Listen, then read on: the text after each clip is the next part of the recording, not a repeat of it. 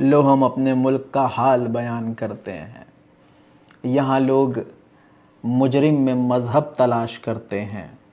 निकल जाए मुजरिम, अगर मुसलमान तो बवाल होता है। गर निकल जाए उनमें मुजरिम तो सब हज़म हो जाता है। उधर पाकिस्तान तैयारी कर रहा है। इधर साहिब को धमकी मिल रही है।